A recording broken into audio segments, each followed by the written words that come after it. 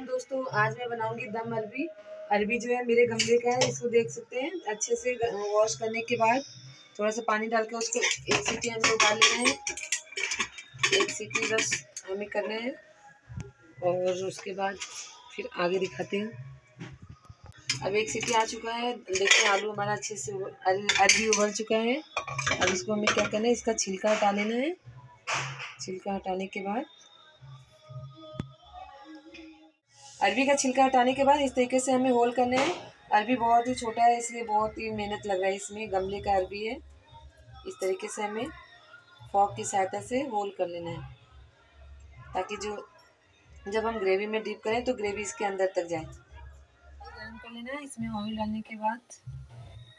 जब ऑयल अच्छे से गर्म हो जाए तो सारे अरबी को हमें फ्राई कर लेना है। ऑयल अच्छे से गर्म हो गया अरबी को हमें फ्राई कर लेना है। कढ़ाई थोड़ी हमें मोटी लेनी होगी। नहीं तो अरबी या आलू कुछ भी, दम अरबी बनाए या दम आलू तो कढ़ाई में चिपकने लगता है और डालने के बाद थोड़ी देर छोड़ देना, फिर हमें इसको पलटना है, ताकि ये टूटे ना। कटा हुआ प्याज, लाल मिर्च, और गरम मसाले का साबुत, लौंग डाला इसमें, जीरा और दालचीनी, तेज़पत्ता, दिखाना भूल गई थी मैं। पहले ऑयल गर्म होने के बाद प्याज जीरा डाल लेना है हमें। दो तीन लौंग डालना है, एक छोटी इलायची, दालचीनी और लाल मिर्च।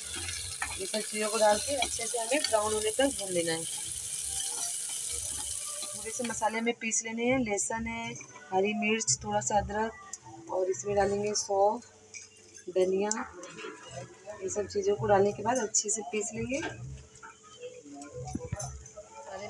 जो मसाला हमने पीसा है, उसको अच्छे से डाल के भून लेंगे। अदरक, लहसुन, हरा धनिया, सौंफ, सॉरी, हरा धनिया नहीं, सूखा धनिया, सौंफ,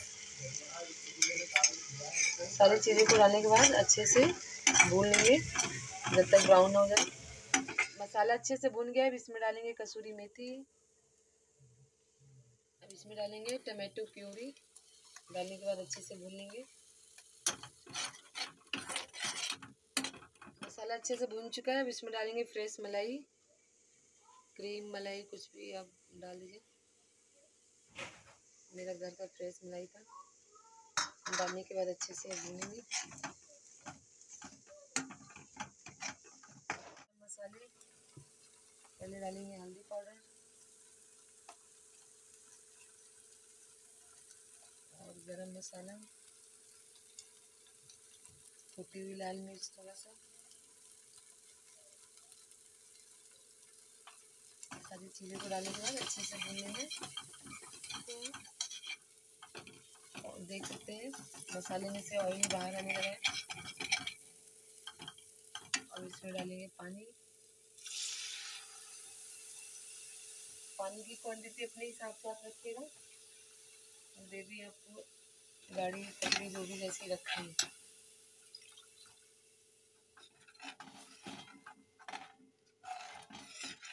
नमक अपने टेस्ट के हिसाब से कम ज़्यादा रख सकते हैं।